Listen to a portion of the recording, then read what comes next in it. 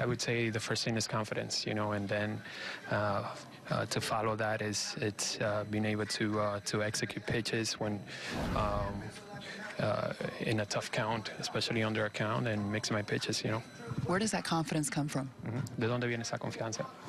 ¿Sabes? Desde, desde, desde, desde el off-season estuve trabajando con Larry y él me ayudó bastante. Me explicó unos cuantos pasos. Hablé con, con el Grande Liga dominicano, Daniel Cabrera, y me estuvo explicando unos puntos y hoy en día me han dado resultados. Uh, you know, it's a result of you know hard work um, in the off season. I worked extensively with Larry. Um, there were many things we spoke about on, on how to get better as a pitcher.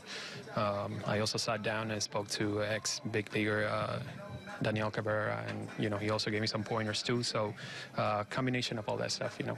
What did you take away from the conversation with Larry?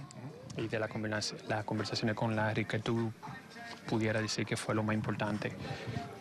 Que, ¿sabes? Concentración, picheo por picheo, inning por inning, que me enfoque bien a lo que voy a hacer, que si, que si me den un palo, un jonrón, que sea con, con el picheo que, que, yo, que yo quería tirar, ¿sabes? Que, que sea un picheo eh, comandante.